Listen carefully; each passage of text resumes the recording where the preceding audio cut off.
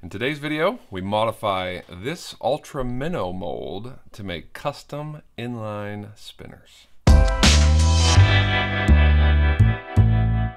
We're gonna modify, I think we're actually gonna do two, because it's that simple. Let's do the quarter ounce one together and this 1 8 ounce. I'm hoping the final results will be a sweet little inline weighted spinner for bass at a quarter ounce, and we could use the 1 8 ounce to make little miniature deals for crappie. Let me get some wire set up and we will jump right in. So before we lay our wire in, I wanted to show you guys what I buy. This is from Barlow's, 100 count, 40 straight wire, and then likewise, same thing, right? 100 count, 029 wire. So we're going to use the um, the thicker of the two right here in the quarter ounce and then we'll use the smaller crappie size right here in the eighth ounce. Something else we're going to need is some um, painter's tape, right? Just regular old blue painter's tape.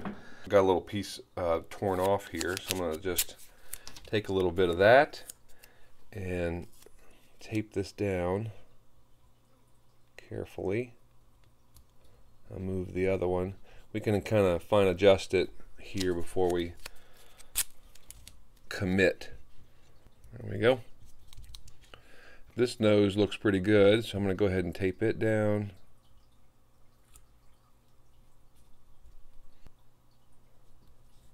Sweet. Now there's a lot of ways you can do this. I clamp it shut, I put it on the floor, with a on a block of wood and then I whack it with a hammer and that's what you're going to see here in a minute. But if you wanted to you could uh, put this in a table vise just seal it up and crank down on it. 100 different ways to skin a cat here. You guys do what uh, you feel most comfortable with. I'm going to do it like I always do and we'll get to pounding here in one sec. All right here we are on the floor. As you can see I've closed the mold and those are right where I want them to be so all I need to do now, you can see that offset. I'm going to hang that off of the edge. Some guys like to put a piece of wood on top. You can certainly do that um, if you want to. The biggest thing is getting that uh, elevated off the floor. Otherwise, as you hit it, it's going to want to um, move on you, and that could cause problems with your placement. So give it a good squeeze. Take my mallet and give it some whacks that should do it. We should have indentions from both of those wires now. Next step will be um, taking the wires out and filing it until both sides will want to file this top, the, the one side and the other, so that that um, wire will fit down inside of there nicely and we can get this to seal up. All right, let's open this guy up and see how we did. So that looks pretty decent. You can see how it's Made a little indention there, but proof's in the pudding. Let's take the tape off. Very nice. Just what I was hoping to see. You can see real easily on both sides where that wire was coming through. So now we just need to take a file. Where's my file? There it is. Got a little triangle file. You can see I've used it quite a bit for other mold modifications. But we'll just take a file and go right in those grooves just like that. We don't need to do anything back here, right? Because we're using the hook slot. So file that out just big enough for a 0.4 on that one and just big enough for the smaller wire on that one. We need to do the same on that side as well. And we will be ready to pour some lead soon. There we go. Got them all finished up. Everything's sitting in nice and pretty. Seal it up here. Everything stayed. Everything is nice and secure. You can see it's sealed up so we're not going to get uh, too much flashing, if any. And they stay in, right? It's just the right size, nice and snug. So, let's talk about a nuance with regards to the wire before we pour the lead. All right, there's two things we need to be thinking about before we close this up, and that's this. We need to figure out uh, how much we want hanging off the back because we certainly don't want it to be 50-50. Um, we don't need all this area in the back and we want to maximize our space up at the top for beads and, this, and the blade and all that good stuff. But we do want to have some off the back because we need to um, we need to make a loop and spin it around a, a little like a, a, barrel twist and things of that nature. So uh, I found about, I don't know, an inch, inch and a half is probably plenty. Secondly, and just as importantly, what I learned when I did this the first time is I poured it just like this, straight wire all the way through the bait. And when uh, I did that and I put it in the vise to um, attach the bucktail to it and get it all set, that lead would just spin on this wire. So to take that into consideration and to counteract this, one what we're going to do is we're actually going to put a bend in this wire, a little kink up and down and back straight. That way the lead can't spin around the wire since it's no longer a straight shaft going through it. So here's my wire bending pliers. I took those, used the smallest setting. You can see they have all different sizes here, but use the smallest setting to make a couple of bends. And I think we're all set. So that's all it takes. Just bend it up a little bit, bend it back down, get it straight. That little notch, I'm telling you, will save you all kinds of headache when it comes to tying on the bucktail and all the good stuff here. So anyway, let's warm up the lead. We'll also bend the wire for this guy and we'll get to pouring. All right, lead is hot, form is ready. Let's get that bad boy sealed up. I'm only going to do one at a time because the wire will be in the way if we try to shoot both at the same time. So first is first, this is the quarter ounce. All right, let's see how she turned out. Yeah. Sweet. Clip this off since we didn't have a hook in it. Do a little um, filing down and of course cut off the sprue. We will be ready to go. I got the wire bent for the eighth ounce. Let's do that one next. All right, let's see. Oh yeah, turned out real nice. So let me get these two um, all cut up and the sprues off, filed down, and we'll take the next step. I got them all trimmed up. They turned out pretty nice. Huh? There's the quarter ounce. You can See that one all right. And then there's the eighth. On the quarter ounce, we did have one side, it was the other side that we couldn't see when we opened it, that had just a little bit of that bottom collar that didn't fill out. But it's not anything that's going to affect our ability to tie on it, and it's certainly not going to affect the fishability. So we'll paint it as is, and I think it's going to be just fine.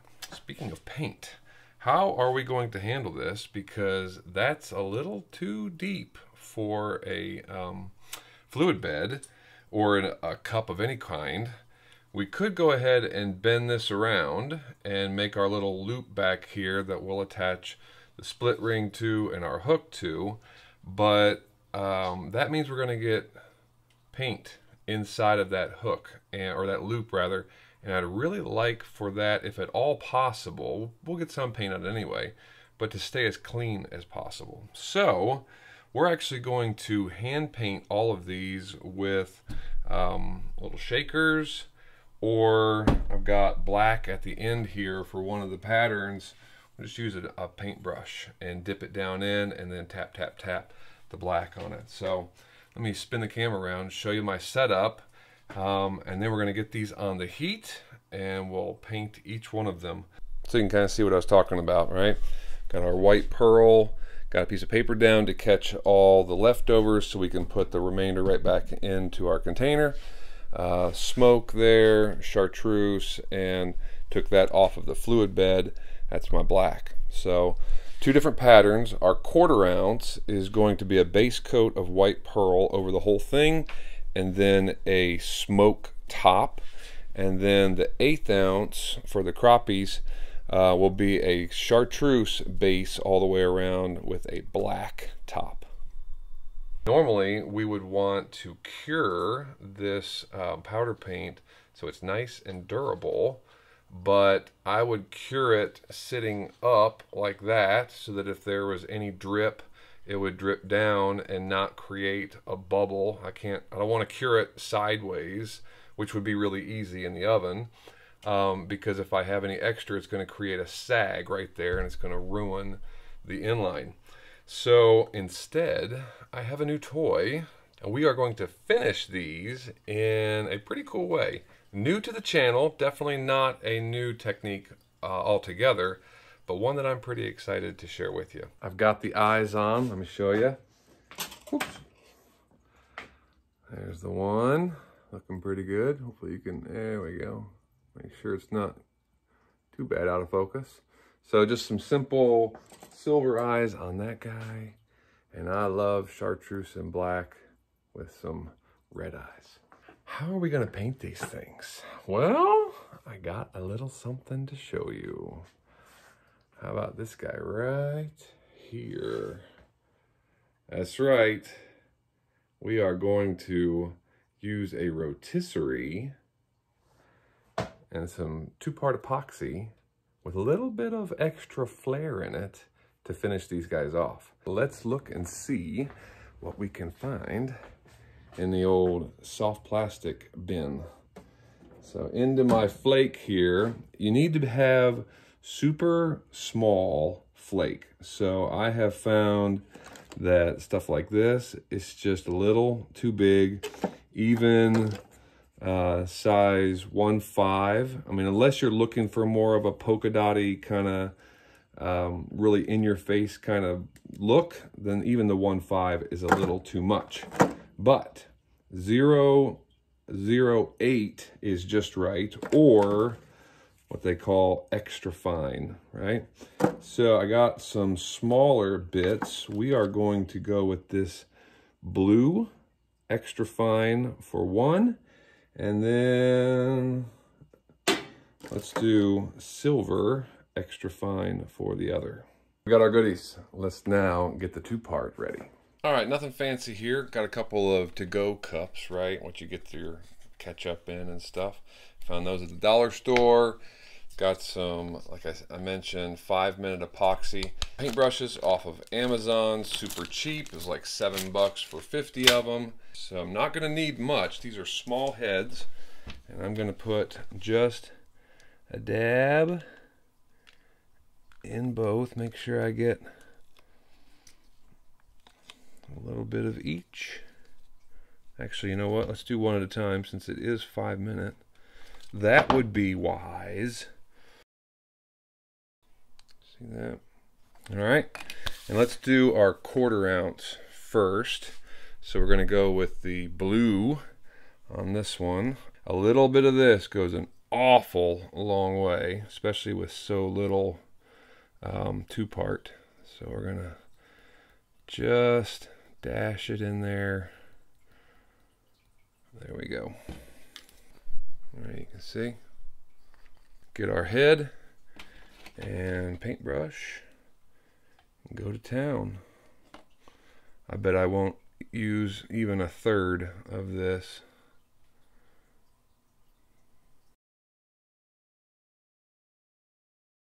There you go. You can see how much flake there was. I mean, I hardly put any in there, but I think ugh, I think that's going to look really nice once it's all said and done.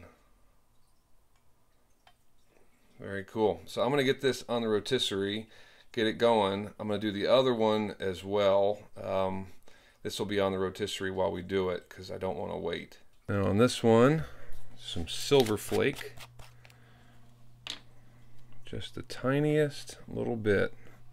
Actually going to use the back of this. There we go. That'll be plenty. You guys even see that? A little sparkle.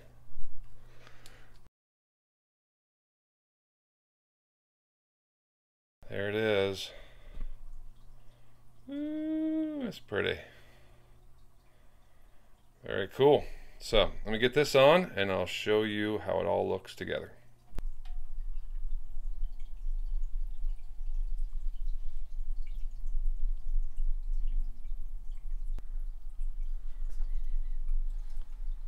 Looks good. There you go. Rotisserie is going. Those are going to spin for a while. Um, like I said, five minute epoxy, but I have really found that the longer I can let them spin, the better it is. So those are going to spin a while.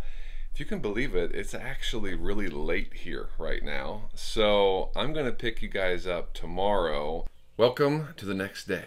So I let those heads turn on the rotisserie for a good couple of hours last night and then they sat overnight as well. So there's no tackiness to them whatsoever. I went ahead and pulled both of them out and created the barrel uh, twist at the end. The way that I did that was to find a space just a little behind the back of the head and I used my wire bending pliers to create a 90 degree bend one direction. Then I spin the pliers and bend it all the way over the other direction so that I get a, uh, a loop with a 90 degree angle. After that, I put the loop in the vice grips and then I use the pliers to pinch where those two wires meet. Once that's ready, I just spin the vice grips, which creates that barrel twist right around the wire. At the end, you can cut off the excess but leave that loop in the vice grips so that you can then bend down that extra little piece. At the end, you've got a nice clean barrel twist. So that's where we find ourselves now. But I screwed up on the larger of the two heads. Uh, that quarter ounce one, I wasn't mindful of the direction of the head when I started twisting the wire, and it ended up being perpendicular to the head instead of in line with the head. Not a big deal from a hook perspective because we're just going to add a split ring and a treble hook to the back. So that's not a problem. But it does make it a little interesting to put it in the vise because now normally you would want to uh, put stuff in the vise so that the head is up and the belly is down. Well, if I put it in here, well, here, let me show you. You can see the head, the belly is over here, the head is over here because of my um, barrel swivel or barrel twist, I mean, is in the wrong direction. So not a big deal. I'll just turn it and we will put our materials on like that. For the smaller of the two, we're good to go. So the tie on these guys is going to be pretty simple. So the uh, the quarter ounce is what we're going to do first, and I've got two colors of craft fur, extra select craft fur. If you're going to work with craft fur, I highly highly suggest getting the extra select stuff. So we're going to play off of the flake. If you recall, we put that nice blue flake to finish up this in that two-part epoxy. Uh, so we're going to use white for the belly and this nice kingfisher blue for the top. We're also going to use just some nice pearl flash, um, just to kind of give it a little bit of glimmer. All right, we're using 210 denier flat wax nylon in white today by far the most awkward part of uh, dealing with these inlines, at least from the vise, is this big long wire sticking out of the front. But just take extra long loops and wouldn't be a problem. First color, that uh, Kingfisher blue for the top. Not gonna need much. Small collar, just a little bit on top.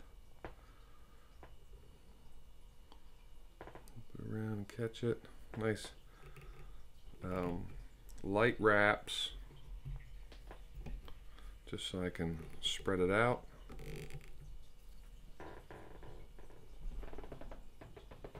Just want it to cover the top. So that looks good. Okay. Now onto the white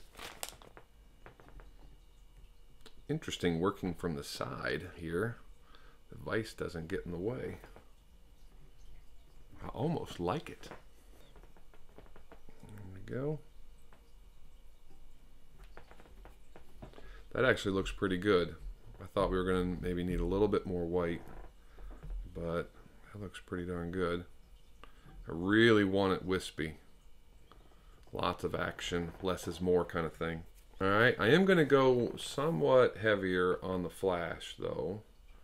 We're going to do, going to have plenty of it. So I'm going to get two strands and double those over.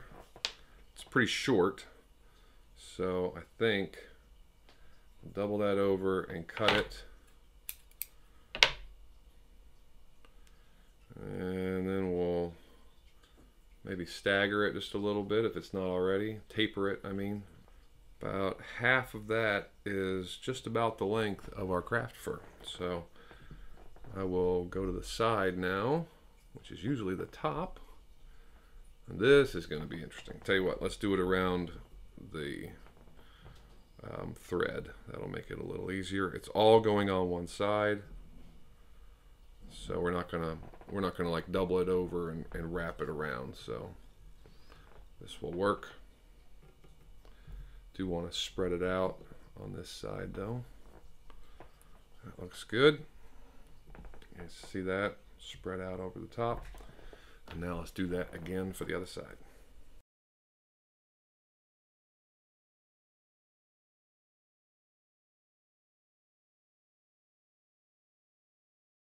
Now, whip finishing this guy is going to be interesting because I got to get all the way around this wire.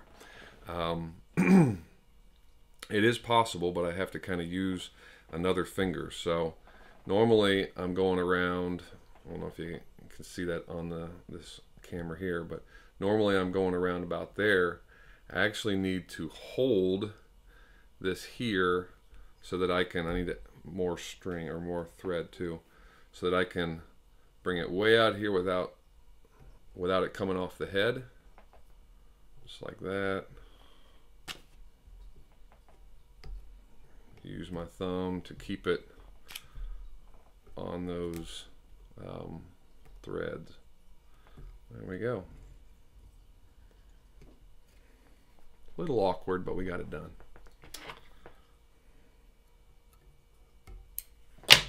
Alrighty, and as usual, we are going to use some Loon water-based head cement to lock those threads in. Uh, I've got a selection of beads here. Got some black and blue beads. I don't know if you can see those real well, but got them off of Amazon. And then in the same little combo pack, got some silver beads and then separate pack, I found these clear beads. Um, so I'm going to put those on. And then I'm using a number six, I believe, Indiana blade. Uh, and we want enough beads on here so this blade doesn't uh, get impeded by the head. So we actually want it just above the head. Forgot to mention, I also have two uh, silver metal beads. Those are all plastic. I want these on both sides of the clevis so that it spins freely. I don't want the plastic to, um, I don't know, impede it at all. So the metal ones tend to work a little bit better. Here's the blade. Make sure that when you put the blade on, the curved end, right, is faced away from the bait. There we go. All of our beads are on. The only thing left to do on this guy is to create another one of those barrel twists on the top. I'm going to leave about a bead's worth of space just so there's some play there. I don't want to lock anything down too too tightly. And then uh, it needs a split ring and it needs a treble hook. But that one will be all said and done. So I'll show you the finished product along with the other one once we tie it up. So speaking of which, let's move over to our eighth ounce. For this guy, we're going to use black 210 denier flat wax this time. We got her loaded up in the vise. You can see this one sits like it should. So again, just be mindful if you do this on your own that you um, angle the head or you you make that first bend in such a way that it, the uh, final resulting barrel twist loop is going to be in line with the shape of the head. Anyhow, get a thread base down. For this one, we're going to use Arctic Foxtail. The black is on the top, so we're going to start with that. Got a little tuft here.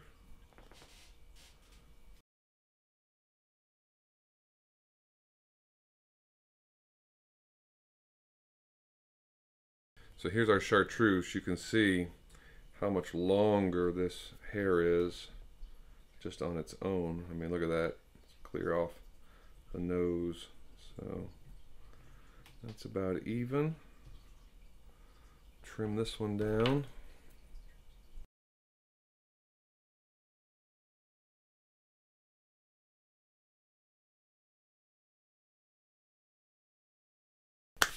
All right, we are going to add some flash to this one as, as well. Uh, and again, we're going to play off of the flake that we added to it. So if you recall, it's a chartreuse base with a black top, but we added silver flake to the two-part epoxy. So going to do the same thing on this one, only one strand on each side, um, halved around the um, around the thread.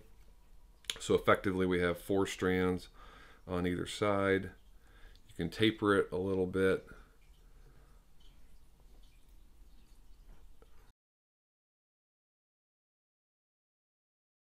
And same thing. Big whip finish by hand all the way around the wire. Whoops.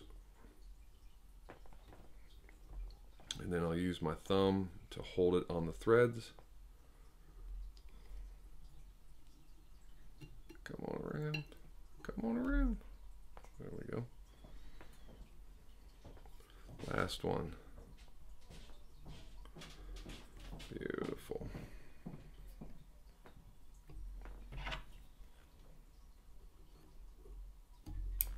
Loon, water-based, head cement. Lock these threads down. Now this one is going to be all metal beads. So I've got smaller gold and yellow, gold and yellow, gold and silver beads that I will alternate. And then for the blades, we're actually going to do a double clevis blade. I'm gonna have to look up what size these are, but they're pretty small.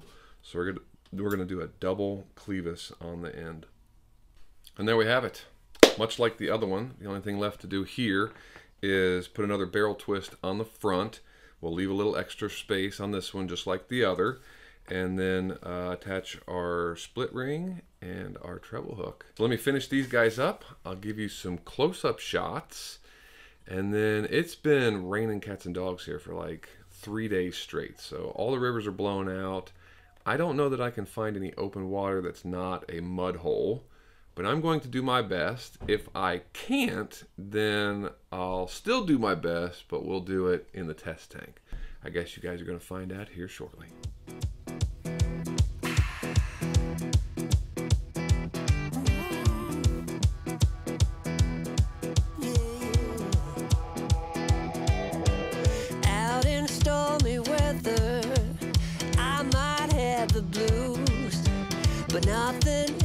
Stopped me from dusting off my shoes. You might think you'll see me falling to the ground, but I threw up my umbrella when rain stops hitting down. Well, here we are, day three of this build.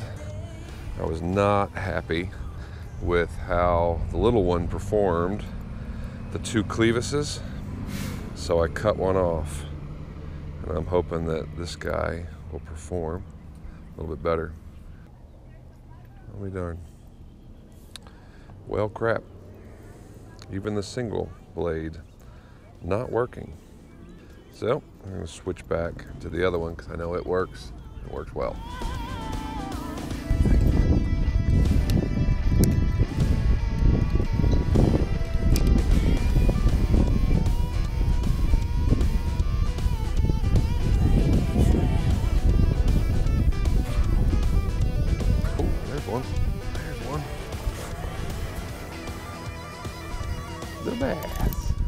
There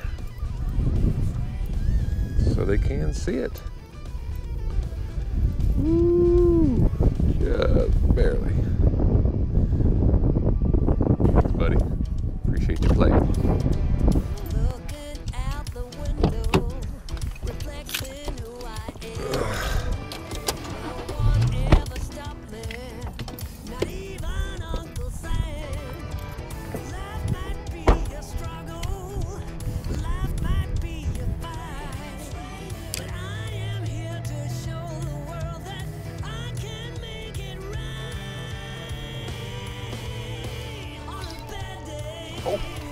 That's a good bass.